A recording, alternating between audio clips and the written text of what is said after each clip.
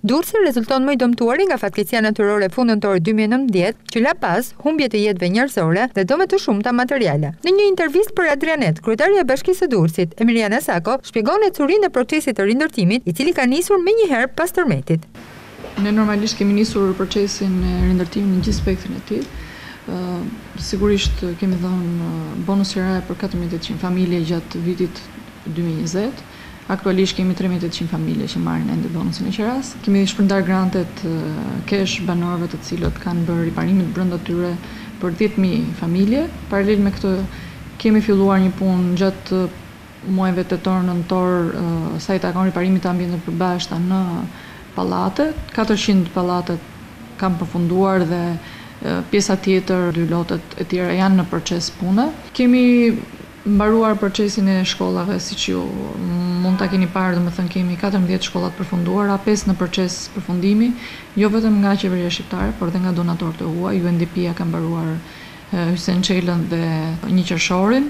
Ka filluar rindërtimi i pallateve nga e para, janë njëzet e katër objekte në gjithë qytetin e Durrësit, pra në Durrës dhe njësi administrative. Dy objektet e para janë në proces pune, Objekti Vipa në bulevard dhe dhjetë gjashtëdhjetë e dyshi pas rajonit të policisë. Gjithashtu ka filluar dhe puna për dy sitet e mëdha që është Spitalla dhe Manza, ku Fondi Shqiptar i Zhvillimit aktualisht po zbaton infrastrukturën dhe shumë shpejt do të fillojnë punën dhe me pallatet, fond të cilën qeveria shqiptare me qeverinë arabe ka një marrëveshje Dhe shteti arab do të jetë ai që do të investojë në Durrës për këtë në procesin e rindërtimit. Në lidhje me rindërtimin e pallateve të shembur si pasojë e dëmeve të shkaktuara nga tërmeti, ajo u shpreh se, Ne kemi prioritet pallatet e Durrësit, pasi shumë familje që trajtohen me bonus qiraje duhet të rikthehen në banesat e tyre, duke konfirmuar se ky proces pritet të fillojë në fund të muajit prill dhe në fillim të muajit maj, duke vlerësuar si tejet të rëndësishëm procesin që lidhet me objektet Me vlerësim dëmi DS katër, që kanë pasur problematikë të madhe në strukturë, zonja Sako konfirmon se ka nisur puna me katër të parët, ndërsa në fillim të muajit prill do të fillojë edhe për disa pallate të tjerë. Po kështu, vijon puna për hartimin e projekteve nga firma e kontraktuar. Ne kemi prioritet pallatet e Durrësit, ka shumë familje të cilat marrin bonus që janë përjashtë.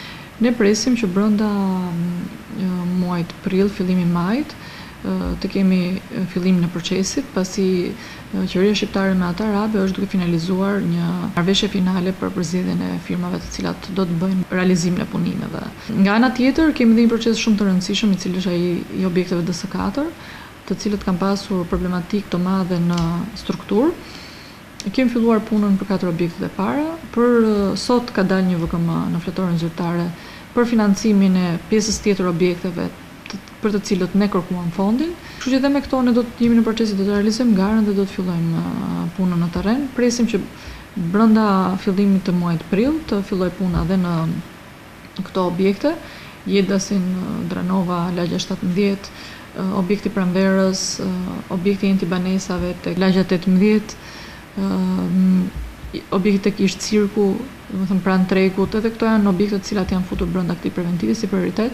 Duke qenë se numri i familjeve që ndodhet në këto pallate është i lartë, siç thashë, dhe për t'i dhënë një mundësi familjarëve që të shohin fillimin e punimeve dhe sigurisht që të të kthehen në banesat e tyre sa më parë, kemi menduar që të jenë këto prioritet. Paralel me këtë, vazhdon puna me studion të cilën e kemi kontraktuar për hartimin e projekteve. Ata depozitojnë projektet në Institutin e Ndërtimit. Gjatë kësaj kohe Instituti bën oponenca teknike, kërkon materiale plus për të parë mënyrën e realizimit të projektit. Për çdo projekt janë bërë matjet në vend, janë marrë provat e betonit në vend, është bërë shpimi gjeologjik në vend për të parë dhe për të siguruar që pas përfundimit të punimeve të kemi qëndrueshmëri të objekteve. Për sa i përket listave të miratuara nga Këshilli Bashkiak për subjektet përfitues nga grantet e rikonstruksionit apo riparimit me nivel dëmi, DS një, DS dy dhe DS tre, për familjet që kanë lidhur kontratën përkatëse me Bashkinë Durrës, kryetarja Sako sqaron se brenda kësaj jave do të fillojë edhe likuidimi i tyre.